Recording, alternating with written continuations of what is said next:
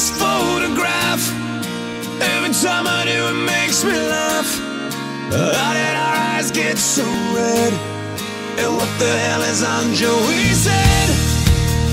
This is where I grew up. I think the president fixed it up. I never knew we ever went without. The second floor is hard for sneaking out. And this is where I went to school.